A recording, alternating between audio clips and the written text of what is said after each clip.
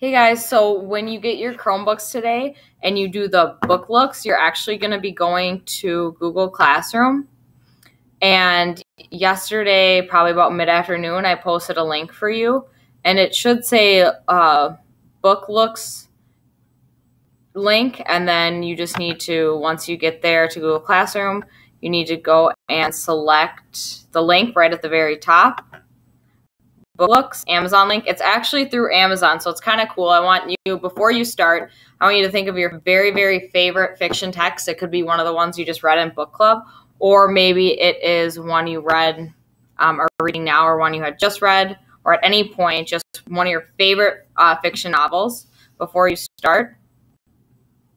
So if you know me, my favorite, well, I'm not a robot, so make sure you select that, otherwise it won't work for you.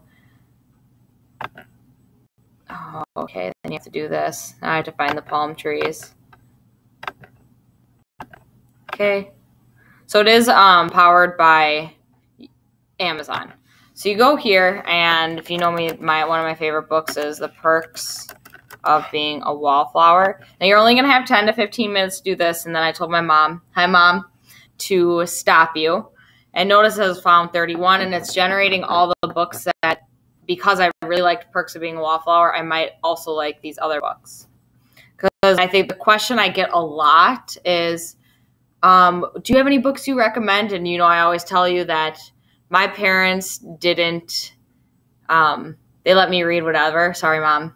Dad did, and I read a lot of adult books. She might be smiling and be like, hmm, "I didn't know that," but I did definitely ones I probably couldn't recommend for all of you. So there are some that I just haven't read a ton that are your age appropriate.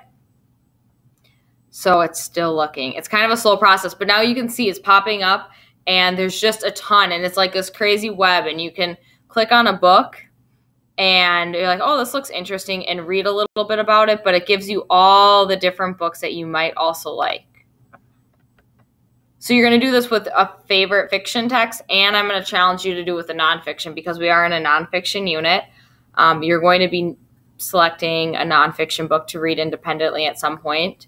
So I want you just to spend some time using this search engine to find books you could read after the book you're reading now or a nonfiction text. So look at, does that surprise you? That's another one I like.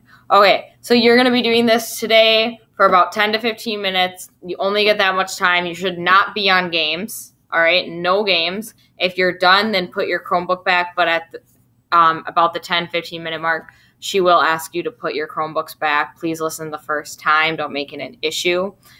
And have a great rest of your day. The learning targets on the board. She, I'm just a phone call away or a text away, and she knows my number by heart. So definitely be on your best behavior. Bye.